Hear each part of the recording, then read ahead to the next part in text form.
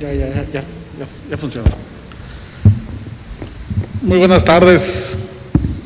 compañeras diputadas y compañeros diputados. Con el per- permiso del, del presidente de la mesa, como es de su conocimiento público, al principio del mes,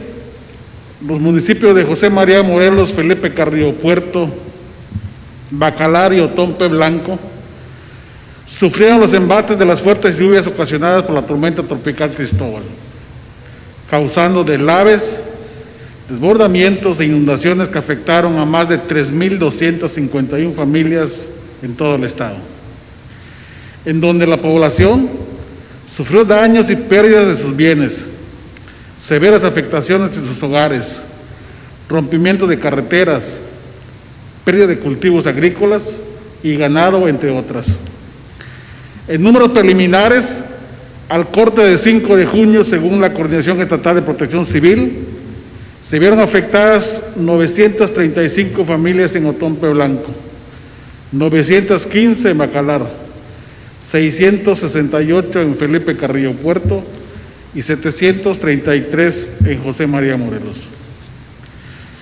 Sin embargo, los daños reales aún están siendo evaluados por Comité de Evaluación de Daños instalado en el Estado, el cual deberá reportarlos a efecto de poder acceder a dichos recursos del FONDEM, de acuerdo con lo dispuesto por la Ley General de Protección Civil, las reglas generales y las específicas.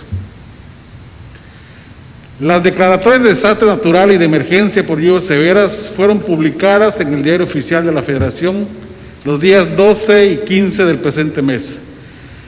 como parte de las acciones iniciales para poder acceder a los recursos del FONDEM por emergencias y reconstrucción de infraestructura. En ese sentido, el acuerdo que someto al conocimiento de la legislatura tiene como finalidad solicitar a la Secretaría de Hacienda y a la Secretaría de Gobierno Federal que lleve a cabo las acciones necesarias bajo el principio de inmediatez para que los recursos del FONDEM que corresponden para la atención de los desastres naturales que afectaron a los quintanarroenses sean liberados lo más pronto posible y de esa forma poder darle atención debida a la población afectada y empezar con la reconstrucción de la infraestructura dañada.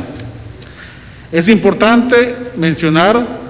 que si bien las autoridades estatales y municipales, en coordinación con las federales, han llevado a cabo medidas urgentes para dotar de suministros alimenticios, dar atención de la salud y lograr restablecer la comunicación terrestre de aquellos poblados que han sido afectados, también resulta necesario que nosotros como legislatura solicitemos de las instancias federales realicen de forma ágil las acciones que resulten conducentes para lograr la pronta liberación de los recursos, pues en otras ocasiones estos mismos recursos han tardado muchos meses e incluso años en ser autorizados y liberados, y con ello se ha privado a la población afectada de la ayuda inmediata que tanto se requiere. En este sentido, compañeras compañeros diputados, les solicito que en su momento se unan a esta gestión legislativa y podamos remitirlo a las instancias federales y con ello poder coadyuvar con los demás entes gubernamentales en el apoyo para atención de emergencia y reconstrucción que tanto requiere nuestros municipios. Es cuanto.